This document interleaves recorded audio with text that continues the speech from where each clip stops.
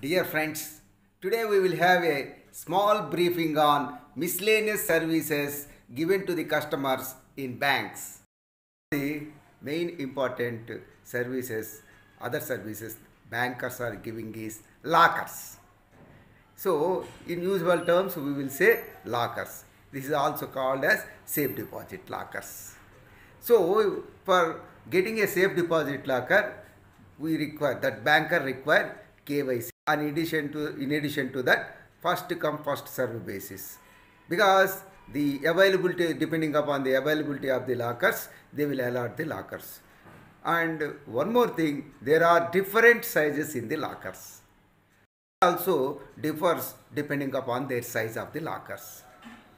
And third one is the lockers can be operated jointly or single. That means either or either person also or former or survivor they can operate and nomination facility also available. But one of the caution is the locker key uh, contains one master key and second one is customer key there will not be any duplicate keys. So, if once a locker key is misplaced by the customer, he has to bear the cost of breaking up the locker. So, this is a very caution. So, locker key should be kept very securely by the customer. Once it is lost, he will not get duplicate key.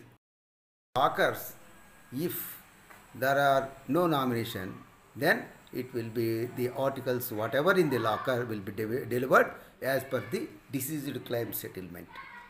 Lockers should be operated re- regularly.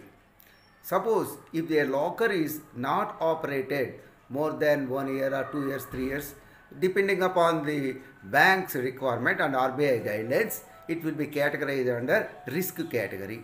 In that case, the banker will take necessary precautions to break open the locker or to inform the customer why the locker is not opened. Suppose a NRI customer is there, he may not come to India. So, in that case, they will allow you certain time. And whereas if the rent is not paid, that is main question here. If rent is not paid and rent is in arrear, banker can break open the locker notices.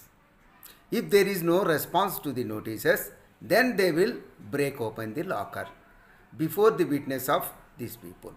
Containing two officers of the bank, two independent other persons, and one notary. And this is they will conduct a panchanama, what you say. That means the inventory, whatever the available in the locker, they will make on a plain paper and signed by all the officials. The inventory content, whatever the available in the locker, they will be made in presence of all these people and uh, the value also a approved value will value the whatever the articles in the locker and they will be kept in a separate safe deposit custody of the joint custodians of the bank to government business transactions that is receipts as well as payments on behalf of the government so here they will get some agency commission from the government for doing all these transactions. So in receipts, usually the income tax, sales tax, professional tax, corporate tax, etc., etc. And in payments, the government to employs salaries payment, pension payments, and uh, central government payment to pension, uh, central government pensions, state government pensions. All these will come under various payments of the bank. So, in nutshell, this is the government transactions banks usually do on behalf of the government. And uh, here, one important thing we should know that bankers also will act agent to the RBI in maintaining the cash. That means the RBI cash will be available at the banks in currency chest. It is called as currency chest. So whatever the currency available in the bank chest is not belongs to bank, it belongs to Reserve Bank of India.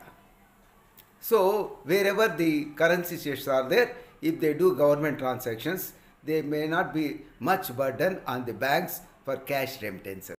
Some other miscellaneous services of the government also bankers will do. That is relief bonds and savings bonds and all these things also they will operate.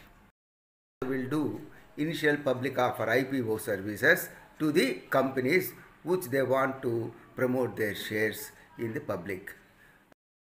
One is factoring, so many other things are there. Non-fund business, that is bank guarantees, LCs and all these things will come under other miscellaneous services. Let us have a small discussion on PAN, permanent account number. Here, PAN consists of 10 letters. That is alpha as well as numeric. That means numbers as well as letters it contains. And the first five characters are alpha that is A to Z. And uh, the A to Z, whatever the letters there, the, the letters will be there. But the fourth character should be one letter from these uh, letters that is A, B, C, F, H, J, L, P, T or G. Only these letters should be there in respect of the fourth character of that five letters. Fifth character or letter should be the starting letter of your name. The sixth to ninth character should be numeric only. And tenth position, that is tenth letter should be always alpha. That is A to Z letters, some letters will be there.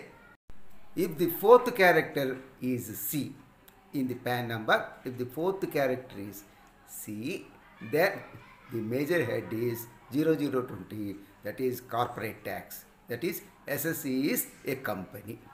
So this is in nutshell about the PAN. Same fashion, there is TAN number also. That is a tax deduction and collection account number. For each uh, individual organization, they will give the TAN number. And this will also contain same alphanumeric characters. In nutshell, this is other miscellaneous services given by the banks.